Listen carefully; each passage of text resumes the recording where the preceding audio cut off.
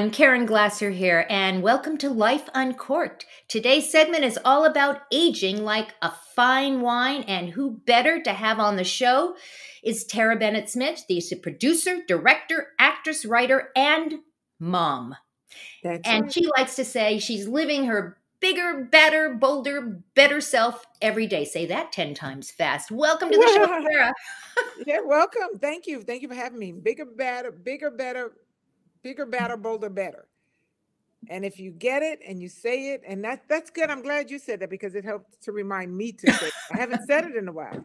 Well, there you go. Yeah. I think of that when I think of you uh, because it's a great it's a great tagline. Mm-hmm. So let's just start from the beginning. Back when Terrah, you back then, how did what's your journey like to get to where you are right now? It doesn't have to be a whole to do, but tell us the short version of your journey.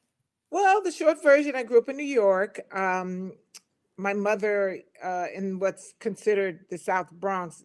Not when I was growing up, it was just the Bronx, and then it became the South Bronx. But I'm told now it's being gentrified, so now it's Sobro.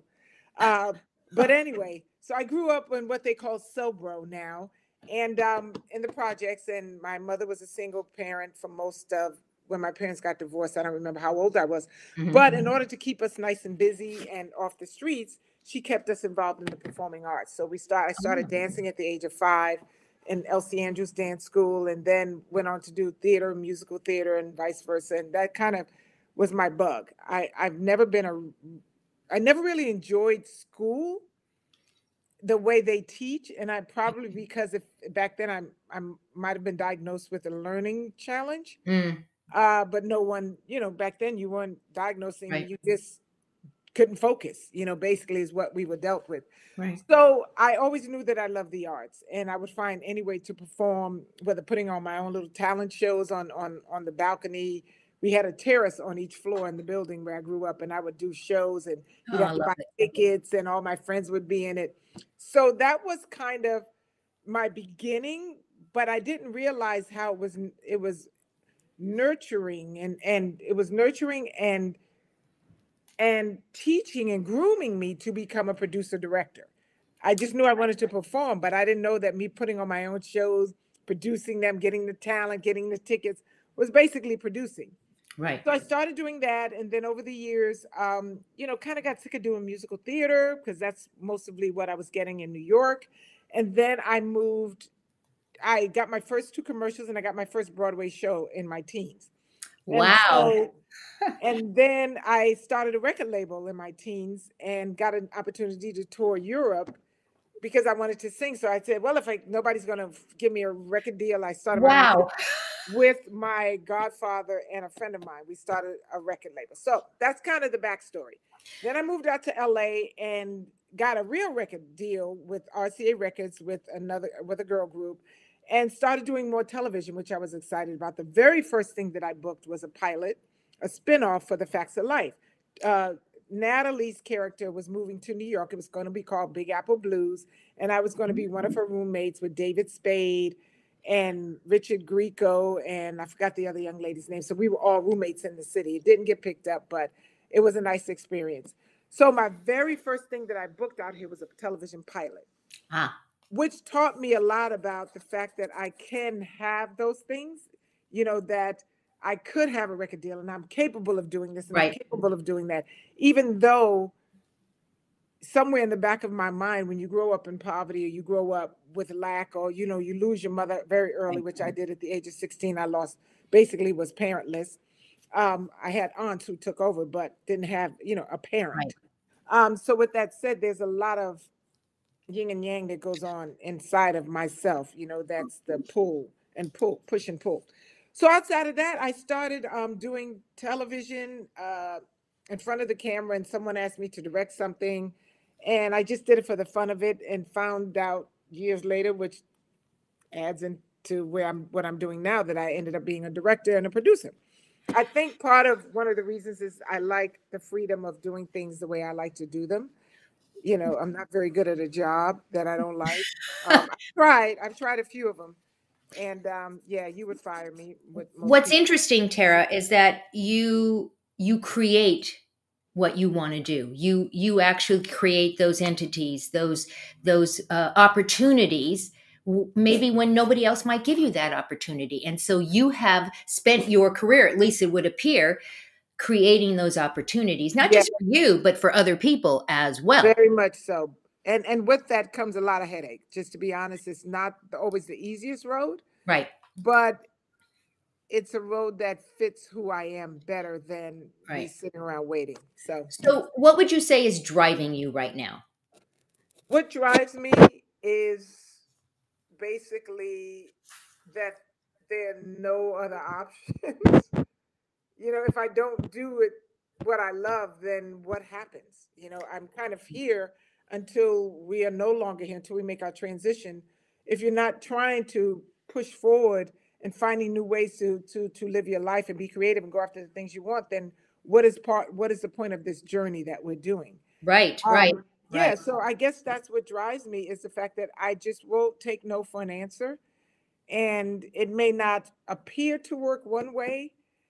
Uh, so I look for another way to get around it. I don't like anybody to put a brick wall up in front of me, even though I may want to cry that particular day because there's a brick wall in front of me you know, I I'll cry and then I figure out how to kick the wall down. How to kick the wall, how to yeah. kick the wall down. It's just a desire that as long as we're here, we have an opportunity to, as long as we're here, we can move, we have sane mind, we're physically able to get up and move about. Right. We have a duty to ourselves to honor us as individuals. Amen. Because you know, I have friends of mine who, who are younger than me who are struggling physically with health issues that, you know, I know that if they would give their limb to be able to get back up and walk the way they used to walk and not be going to the doctor every day or not be trying to figure out right. You know i would just love to be able to do my craft or do my art and when you don't have that opportunity um, things look different and i don't want things to look different because i i let it slide or i didn't give it my best I think it's so important what you're saying. I, I, mean, truly. And it is very inspiring. And the next, I was going to say, what inspiration can you give to someone who is starting uh, something new, maybe in this chapter in life? And you're kind of already saying it is don't stop. Yeah. You know, um, this is my, this year, 2023 was the year I became a senior, official senior, as they say. High five, Terrah. Okay. High five.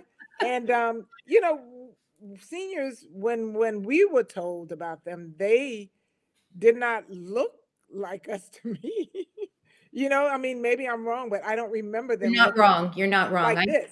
right i don't remember you know too many that i knew could just go you know hike four or five hours to work out lift weights you know take right. classes you know i don't remember that so i think for me for you whatever age it's like until you're dead you're not dead Agreed. Until, until they come to get you, you have an opportunity to to reinvent yourself. Right now, I'm the CCO, Chief Content Officer of a new company called Inyani. I've never been in the C Club because I strayed away from jobs, but this particular venture spoke to me because I get to do everything I love to do. Right. Plus, plus be a CCO, be in charge, do it the way oh, I love. Fun. So, so, that's something new for you. That is, very new. This all happened this next. year. So what's next? Year. That is for you. What's next? And what's next is the opportunity to travel and be on and, and to employ myself in any of the fields that I love. And then to be of service. I'm opening up hopefully soon in 2024 a creative arts center. I'm starting small with a venture with a friend of mine. I have that going. I have Inyani going and um I'm exhausted. I'm, I'm exhausted listening to but you. Those are the those are the things. I I love to have a creative arts center that a place that I used to go to when I was young. You know, that helped me to hone and hone my crafts and my craft and um just you know have a camaraderie with other yeah. like-minded artists. So yeah. yeah.